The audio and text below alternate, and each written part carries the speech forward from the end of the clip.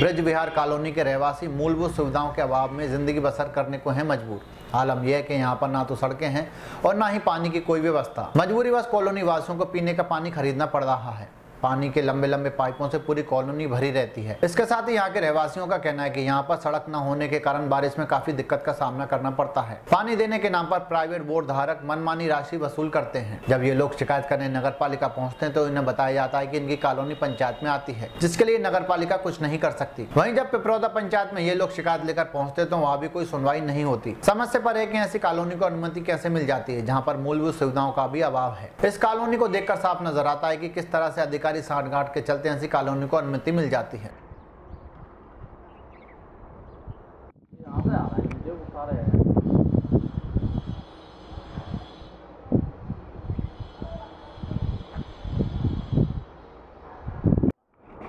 मैंने पढ़ नहीं पाया।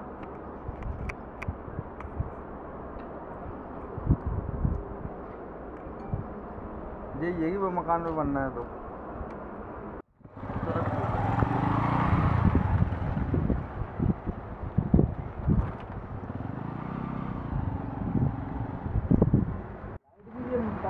मतलब दिनों पे खर्च करके तीस रुपये बीस हज़ार रुपये का ये पोल पड़ा है पर्सनल लगवाइए लाइट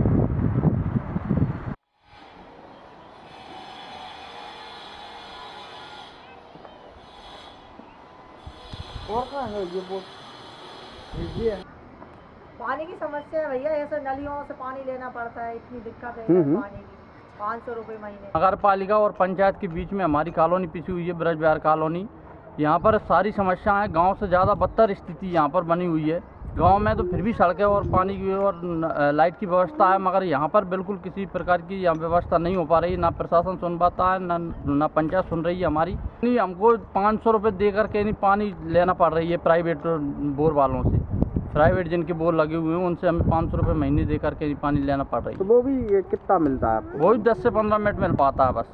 हो जाता है पर्याप्त नहीं हो पाता है। हमको बोल रहा हूँ मैं गाँव से बदतर स्थिति बनी हुई है यहाँ पर। हम यहाँ लाइट नहीं है खम्भों की व्यवस्था नहीं है दिक्कत होती है लाइट के बगैर।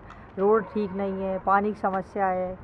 बहुत दिक्कत है। पानी पानी भी क्या आ समस्या है? पानी कभी आता है कभी नहीं आ पाता। है ऐसे दिक्कत आती है थोड़ी बहुत देर भर पाता है नहीं भर पाता। लाइट भी नहीं है तो आप लोगों ने पानी कहाँ से उपलब्ध होता है ले रहे हैं दो सौ तीन सौ चार सौ पाँच सौ रुपये महीना देना पड़ता है?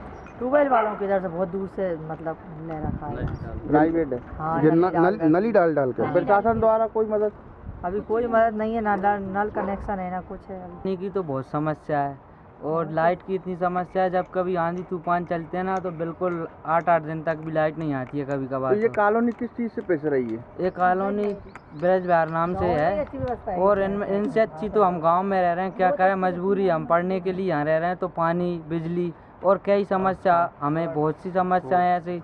ऑटो भी नहीं आ पाती है। आ- हमारे छोटे भाई बहन भी जाते हैं पानी उपलब्ध कहाँ से हो रहा है पानी नल आते हैं नल भी कभी रात में आ रहे हैं हम पढ़ रहे हैं तो बारह बजे आते हैं कभी कभी आते हैं तो भी नहीं आते।